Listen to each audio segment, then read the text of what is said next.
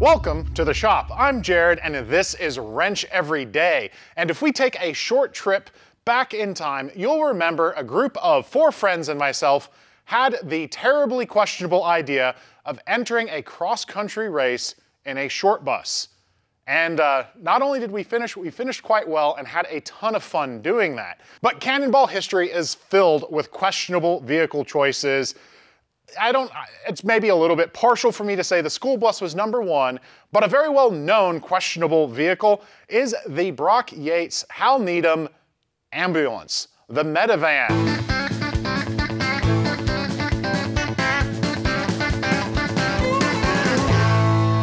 This one isn't it. It is probably the most accurate recreation of one ever made. It belongs to a good friend, Travis Bell, and I'm gonna tell you a little bit of history why this van is so cool and what makes it special.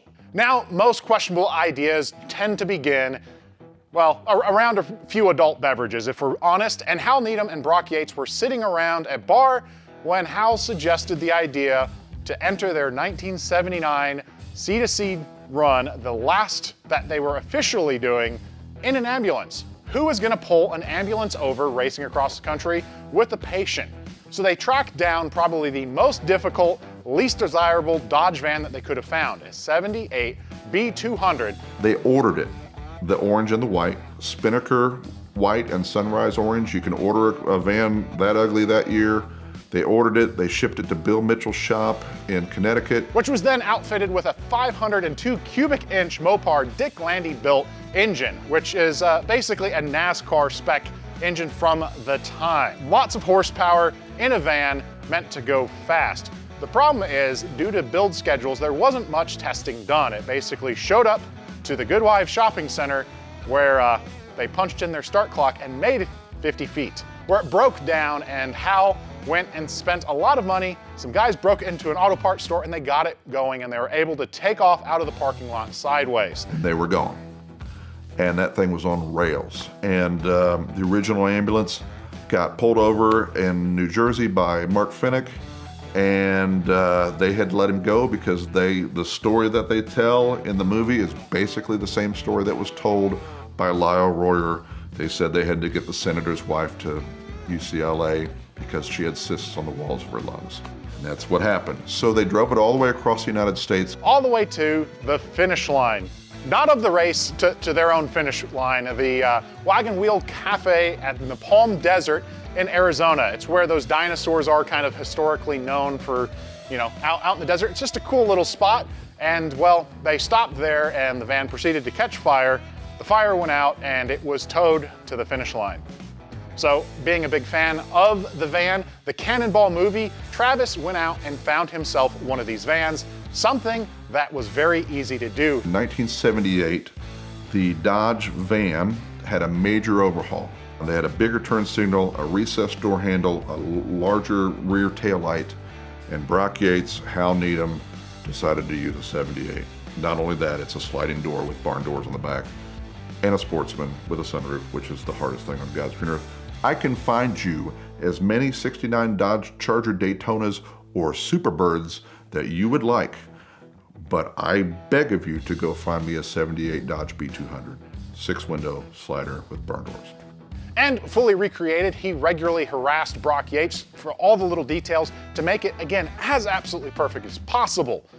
The problem is he made it too perfect. When you follow the recipe that didn't work the first time, it's probably not gonna work the second time. So trying to write the did not finish of the first Transcon Medevac, they set out and didn't even start. The van broke down and couldn't even make it the 50 feet of the first one. So they took it back to the drawing board, fixed a few more things, modernized a couple additional components of the van, and then set out and got about halfway across the country in the third attempt, where it broke down once again. And that brings us to today, when sitting around a campfire, possibly some beverages involved, a group of us talking with Travis said, we are going to help. We are gonna get this van, we are gonna modernize, even more modernize, all of the fuel injection systems that we can. We are going to fix some of the other small problems. So hopefully, fourth time is the charm. You know, normally it's the third time. We're going for the fourth time. We are gonna go through and do a lot of small upgrades and cleanup work that finally, finally, this van will finally break the 50 year plus curse of never making it New York to LA. So fingers crossed, we are going to get it across the line and Ed and I will finally finish what they started in 1979. So I'm gonna pick you guys up and we're gonna take a quick walk around the van. I'm gonna show you some of the really exciting attention to detail and features that went into it. Then we're gonna start taking it apart and we'll talk about some of the parts we're gonna put into it. The biggest thing when it comes to what we are trying to do in this van is build in redundancies. So if something breaks, it's very easily switched to a backup unit. You know, insurance. And I'll tell you what, when it comes to insurance, today's sponsor, Policygenius, has help for you.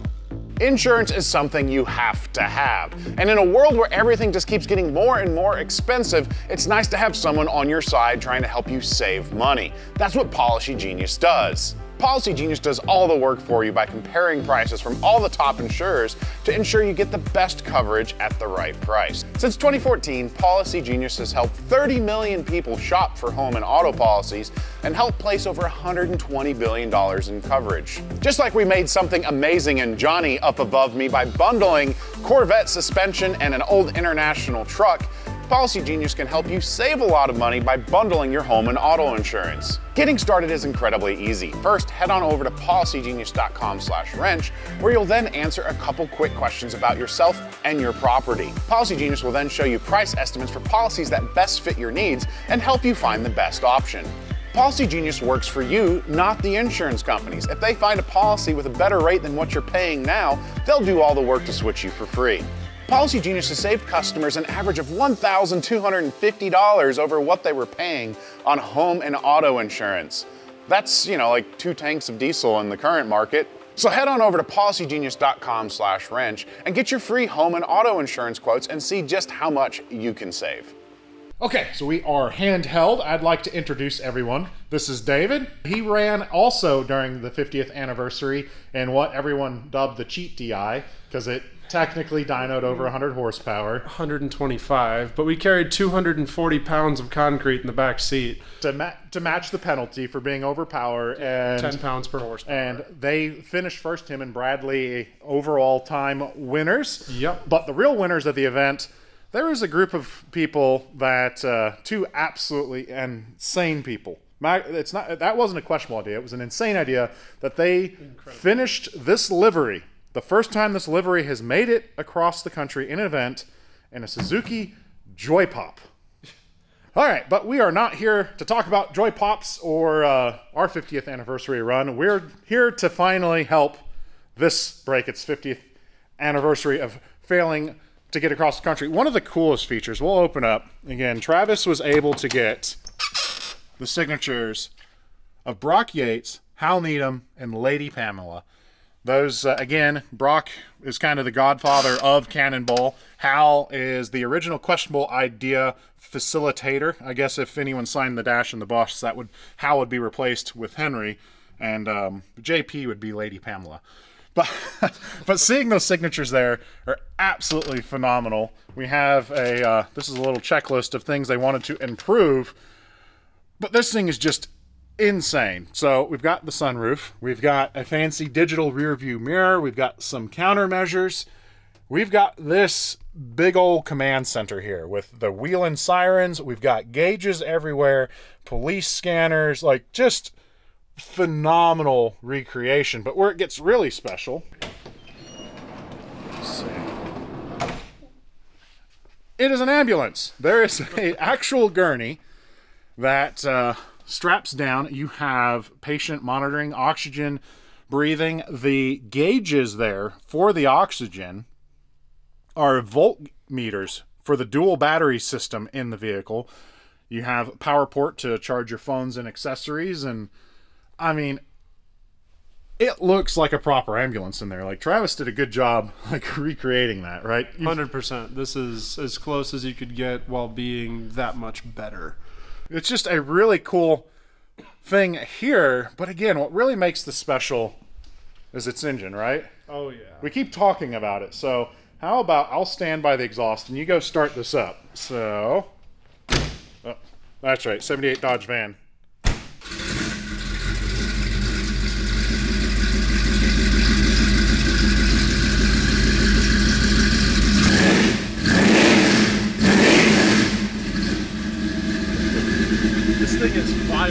It is just, it's silly to stand on the outside and just watch this thing rock back and forth. So ridiculous. We can go ahead and turn it off. So, if you're not too familiar with vans, much like the school bus, there's a dog box or dog house that houses the engine. All of our work is going to be in there. We're going to be putting in a new fuel injection system. We're changing the fuel pump setup drastically because the fuel pump was the failure that put this thing on the side of the road in its last attempt. So, It's the bane of every cannonballer's existence, the fuel system. Yeah, heat on the fuel pump. So we're going to be changing that whole setup. But in order to do any of that, we have got to get this entire box and everything set up and moved back so we can have a little bit more room to start showing you some more of what is absolutely crazy on this. And then uh, we'll start taking it apart and showing and comparing our new parts. Oh yeah.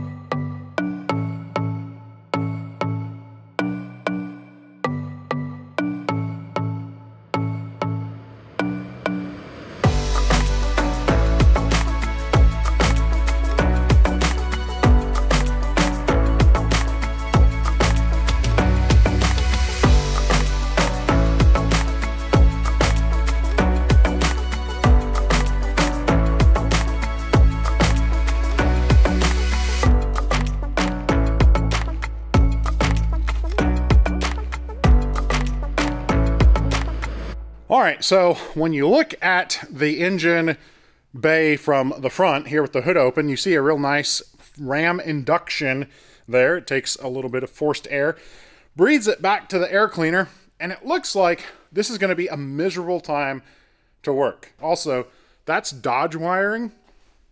This is the Travis wiring. This is nice and clean. That's 1978 Dodge. So, you know, wire like this, not like that. But with the dog box and that out, look at we have got so much room for activity here, David. Oh yeah. So we can see nice and plain this massive, massive engine. We've got the serpentine belt system. One other small repair that we're gonna have to do, it's kind of hard to see right now, but there's a thermostat housing there that is leaking that we are gonna replace. But the main thing we're doing is we're going to replace this fuel injection unit. We need better control and there's a lot of limitations in this computer system that's on it. This is good for the weekenders, but if you need to go full throttle across the country, there might be something a little bit more robust available, and we're going to talk about that. Something else it's kind of hard to see at this angle, but there, oh yeah, David will pick this up for us. Look at this ignition system. When we were talking about redundancy, I'm going to take as long as I can because this is really light. This is historically accurate. Too. Yeah.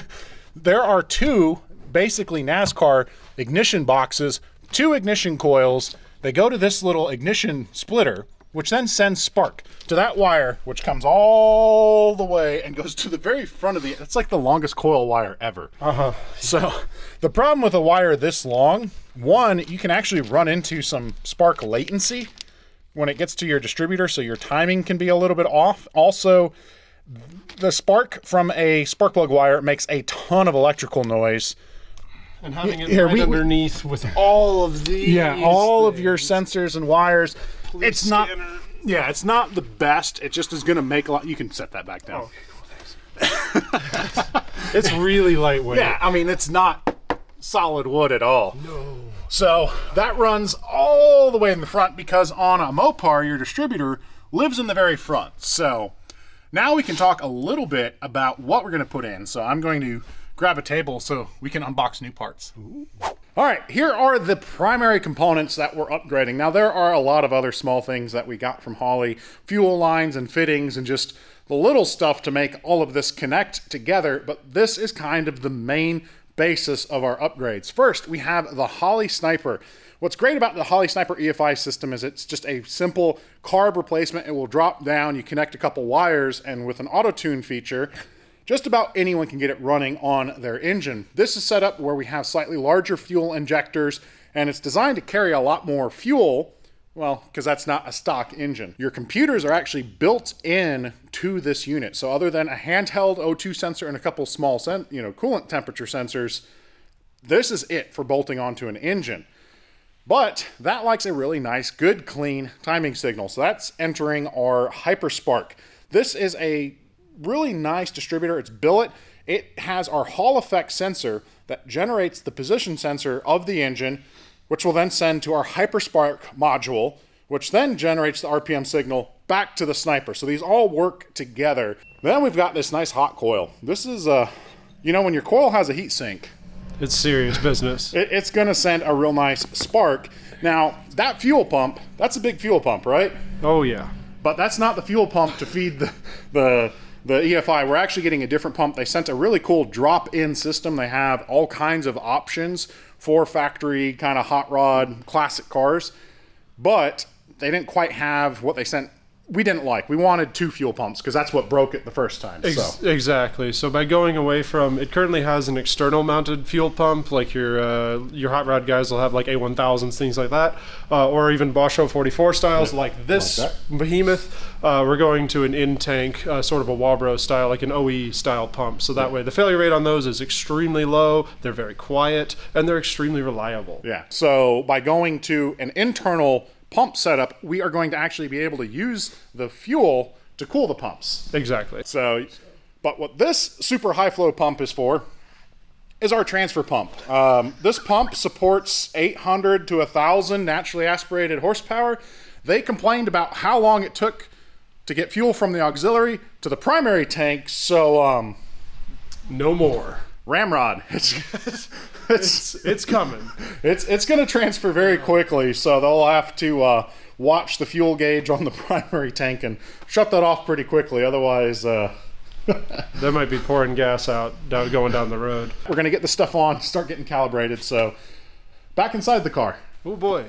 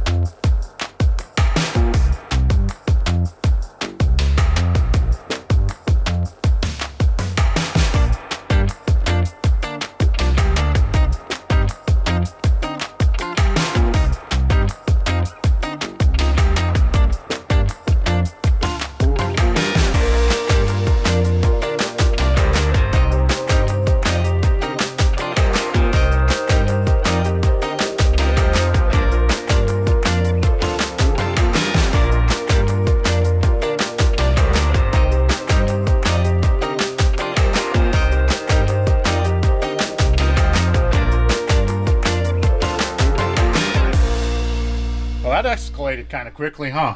Oh yeah.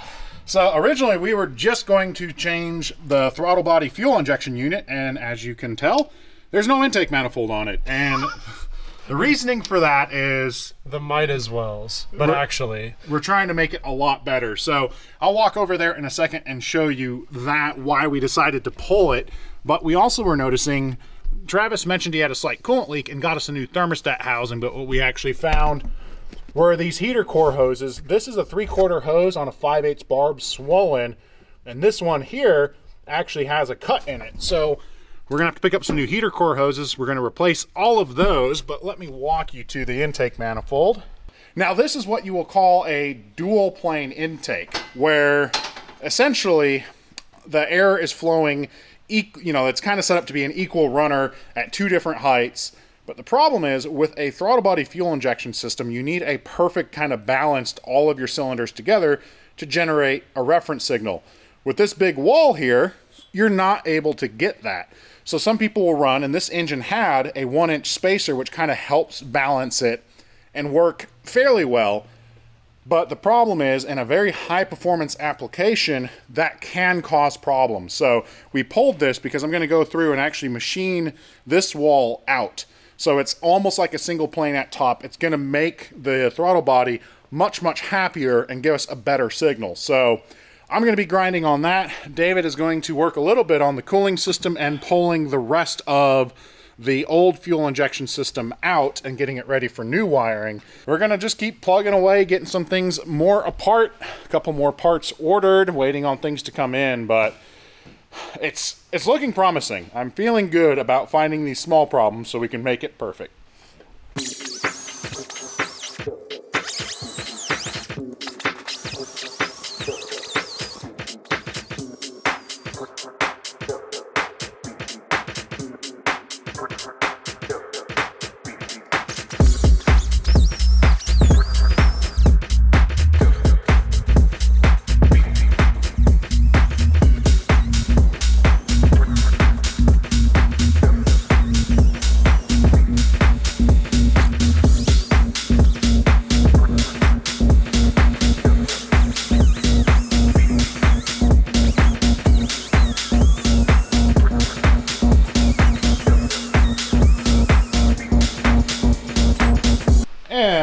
Just like that, we have a single plane, sort of. Yeah.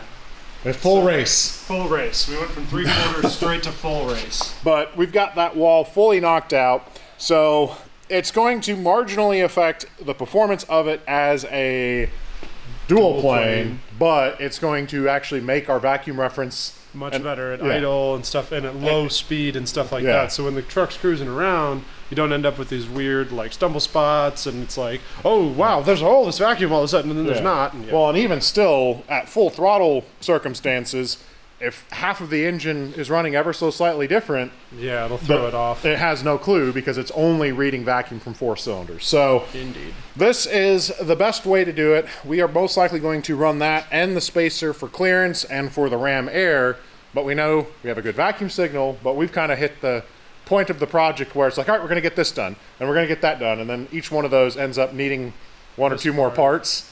So we're, basically at the point where we got a lot of parts, but uh, it's late and the part store is closed and we got to go in the morning to get it.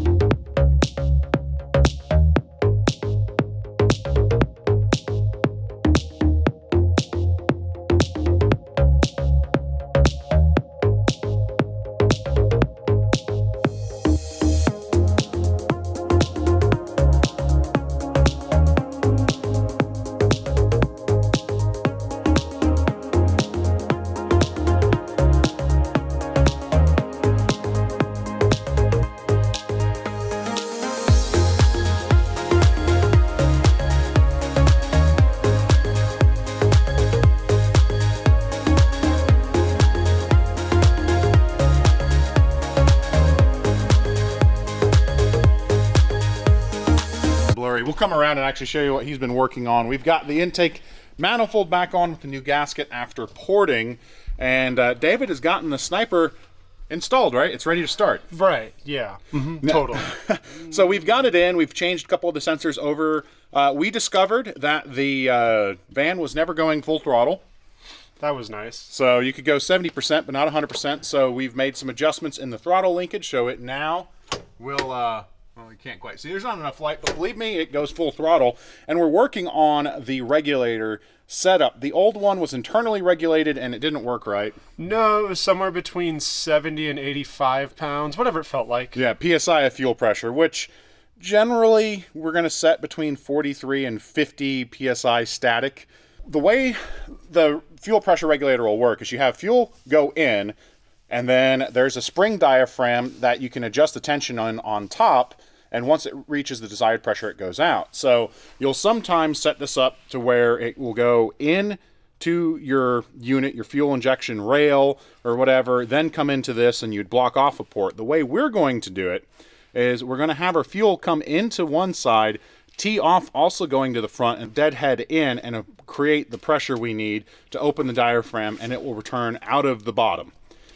So we're just again trying to make things as reliable as possible. We're at the point where we're going to run some of the wires, get some of that set up, plan out. Uh, hopefully, our last summit run. We've got our new fancy fuel pump showing up today. Yep.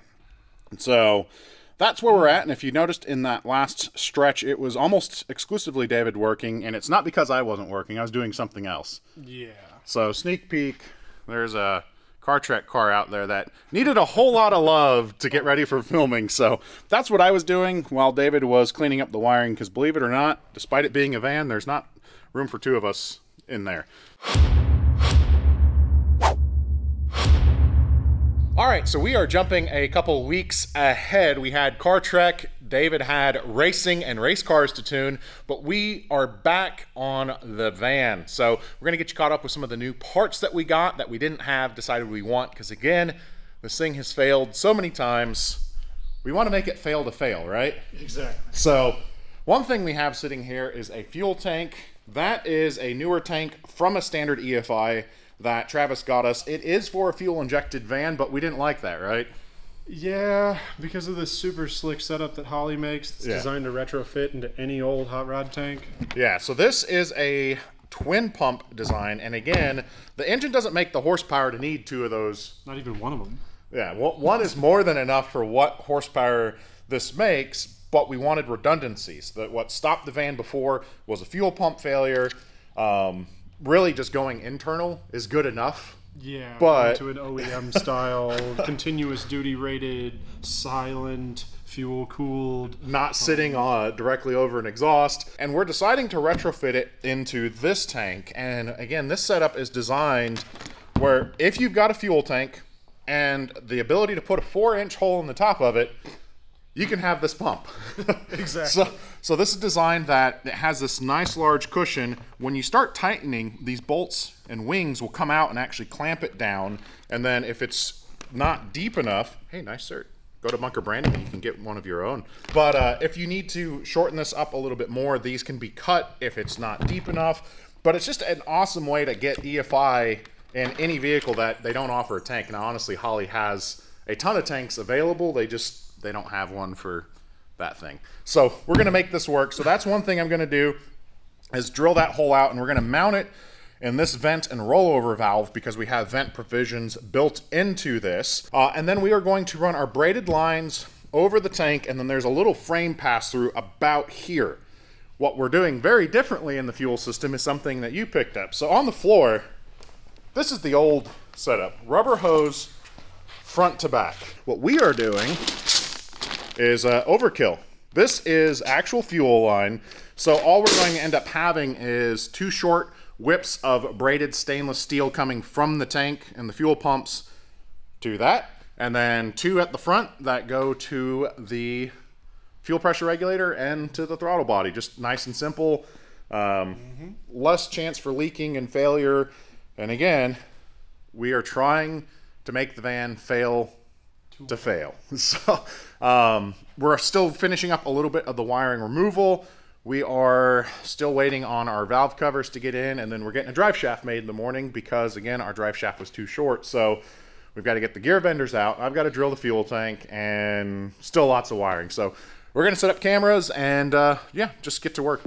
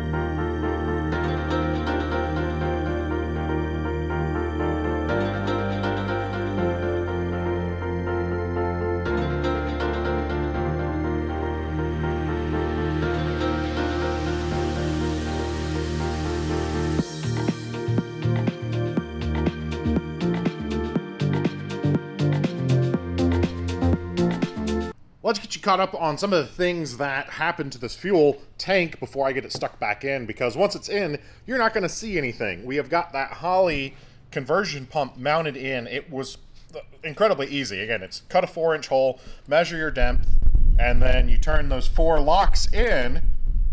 Oh, it's going to be real windy. Sorry. It's a beautiful day and we've got the door open. But uh, you turn those lock, torque it down to, they give you the range 40 to 60 inch pounds. And then I've got my lines just kind of roughly made so that way we can feed them through.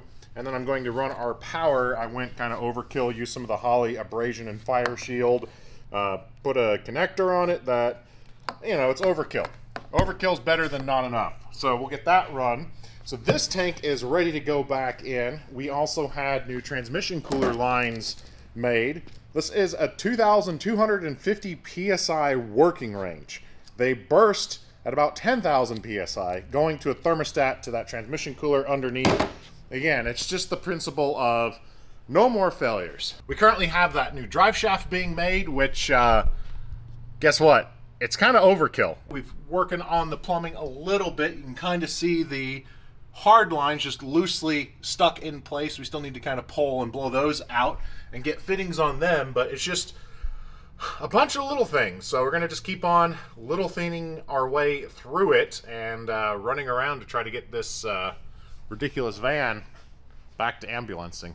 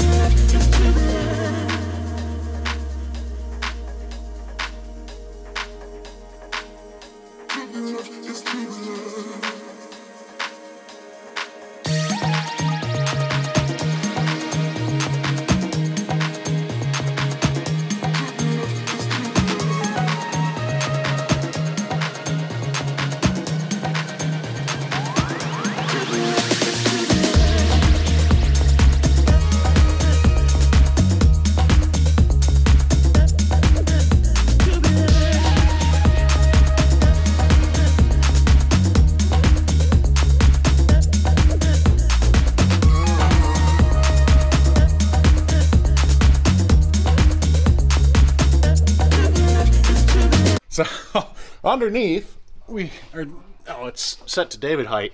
This is just kind of loose run. We're going to still uh, a dowel clamp, right? Adel, yes. We're gonna roll them right in the deep. We're gonna anal clamp it up so it sits nice like it's supposed to, and uh, instead of just rubber, uh, that's kind of how you should really do it.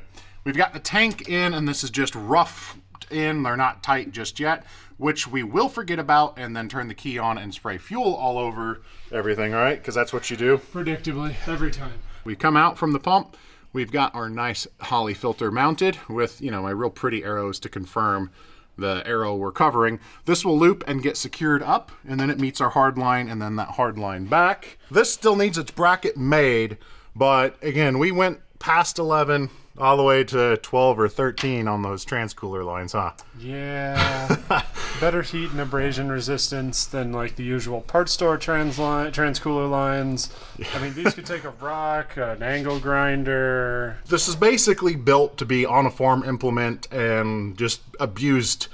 So they're 2250 psi of working pressure, which means almost, if not a little bit more than 10,000 psi burst pressure. And have you ever seen a Dodge 727 TorqueFlite make 400 psi?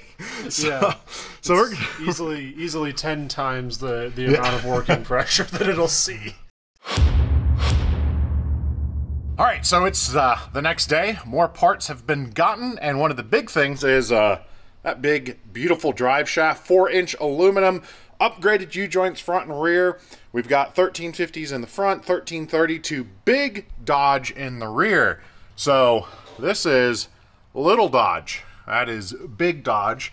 Lighting is just being a mess, but let's see if we can try to there you go. So you can see how much smaller the old U-joint was in comparison to what we've got going on. Now, of course, this is still a Dodge 8 and a quarter, so it can explode at any given moment, but we are no longer running the baby joint. The other big reason we wanted to do this is there wasn't a way to go to a Dodge joint to an American, like a Spicer 1310, 1330, without having a greasable joint. Now, I know what you're to say. Greasable joints, it sounds like a good thing. It's something you can service, you can uh, lubricate your U-joints. But when you start making a lot of power, having the hollow sections of that U-joint to allow grease to travel through actually weaken the joints substantially. So you want solid joints, and it's just something where you have the expectation of replacing more than greasing and lubing, and it's just, um, again, a matter of strength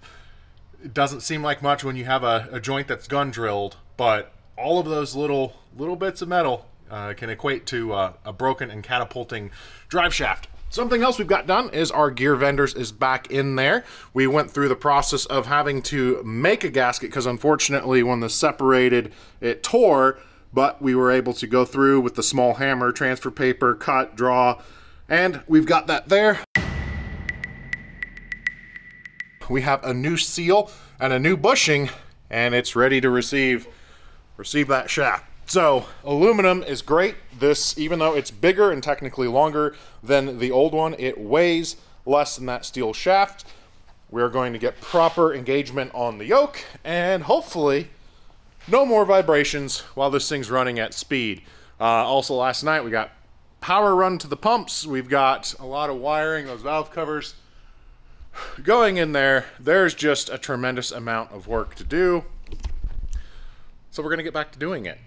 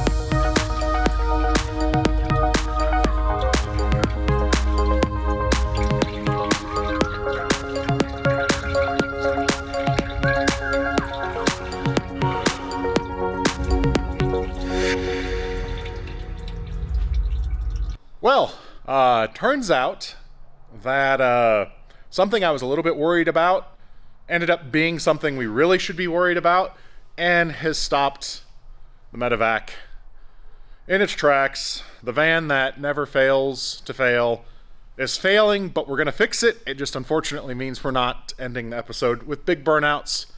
That's what David really wanted to do. He, he likes uh, getting me in trouble with the landlord. So, um, the smart among you, or and I won't say smart, the educated in Gear Vendors among you would have noticed a small problem. That gasket we made, and I was thinking it could be a problem. When I took it apart, I saw very exacting shims, and uh, what did you find out when uh, Rick from Gear Vendors called you back? So the material that the gaskets are made of, that for the Gear Vendors, they're a non-compressible style gasket. And are effectively part of the shim. They're extremely important. Yeah, they have a very exacting tolerance. You can't just go to the parts store and slap some old gasket maker in there. Just doesn't work that way. So this gets to come back out and apart, and uh, turns out we can get this part. It's a semi-universal part. Those those two gaskets, not so much. So they're coming, but we can't get them in time. But man, look at that shaft. Look at this hotness. I mean, I, I, I covered that while you were running for parts. But um, what that means is today was our deadline to try to wrap it up because you have an important date. You're gonna go see Garth Brooks. Yeah. Girlfriend got me tickets to it. It's uh, it's gonna be uh, just uh, it's gonna be a time. It'll be a good time. She, I was gonna say she's gonna probably watch this. You want to be more excited. Yeah. So, uh, so to make sure David doesn't end up single, I don't want to be the cause cause of that again. We're gonna have to end with the stupid thing having to come back apart. We've got like four wires left to hook up and fluids to put in this thing, and then we're gonna be driving it. So, not not today because that's that's just how the van life is gonna be. So our next time when we can get David up here in a couple days and we can get parts in from Rick at Gear Vendors. So thank you, Rick, for helping us out. We just time time frames kind of ruined us. Uh, we're gonna get this thing running, and we're actually gonna take you a little bit more into the tuning process, and we're actually gonna get a lot of seat time in this thing rather than just a quick burnout. So it's more fun for all of us. And I hate ending episodes on disappointment, but hey, uh, it's not disappointing. We learned. We learned, David. We learned. We learned that. Uh, I- is half the battle. yeah, knowing. Oh well, we're gonna get back to this van. You guys are gonna have a lot of wrenching that you've already watched, and more to watch coming up on the next Medevac episode. You know, it's that's how it goes. So yeah, I'm Jared, reminding you to always make questionable choices. And if your friend has a van that needs some help, just buy everything. Don't don't assume anything's gonna be good. It needs it all. We'll see you.